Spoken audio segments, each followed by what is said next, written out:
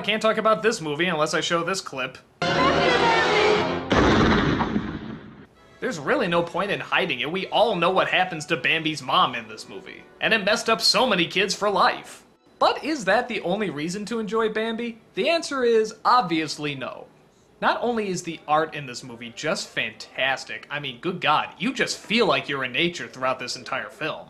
But it's the first time Disney's ever done a coming to age story, and it does it very well. Where Disney's always been good at creating villains and threatening obstacles to go up against, they knew to keep that to a minimum in this movie. The villain is man, and you never see him.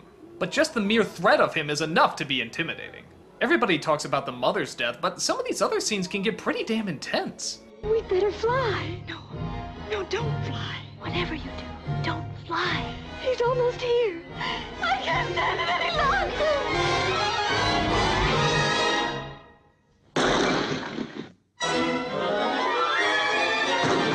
Most of the early Disney films, it mixes bright and colorful with dark and. mommy killing. But let's be honest, it's not the death of the mother that gets us, it's the fact that there was such a strong connection between her and the son. That's why it messes us up. And I also like the fact that the father is almost never around, and when he is, Bambi's almost afraid of him. Sort of a fascinating dysfunctional family that may or may not need to be, but again, that's sort of up for debate, and that's one of the reasons I do like this film so much. The answers are not clear cut. Hell, even the questions aren't clear cut.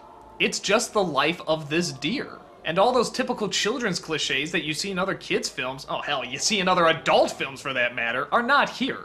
And thank God, because you know what? This is enough. Sometimes just showing someone or something live their life is all you need.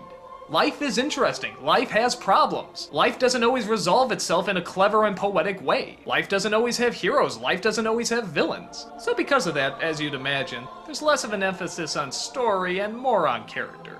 And while Bambi is not the most fascinating of characters, he's supposed to be sort of the every guy. He's the blank slate that's supposed to absorb love, fear, sadness, happiness, and whatever other emotions you can connect with. I'd be lying if I said I watched this one a lot. In fact, it's probably one of the Disney films I watch the least, though I do own it. But I definitely respect it more than I do view it. I guess there's only so many cutesy wootsy scenes I could sit through, but they are done well, and with purpose. The second half is actually where I start to get more interested. I mean, you know, after that scene. I like seeing Bambi grow up, I like seeing what he's become, and I like seeing what he's going to make of himself. It's another one of those films where the lack of really complex characters is made up for in how much complexity they put into the backgrounds and the colors.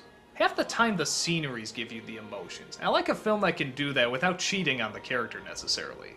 The emotions are there in the character, they're just emphasized by the surroundings. And Bambi is chock full of that. Heavy atmosphere in a heavy environment. It's easily one of Disney's finest.